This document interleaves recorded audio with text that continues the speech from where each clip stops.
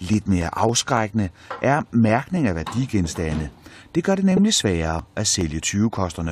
Det er ikke alle, der er helt glade for at købe det, og det er heller ikke så nemt at komme af med. Der er jo en risiko hele tiden, ikke også? Øh, fordi det kan ko- tilbage til et gerningssted. Så det får man aldrig så meget for.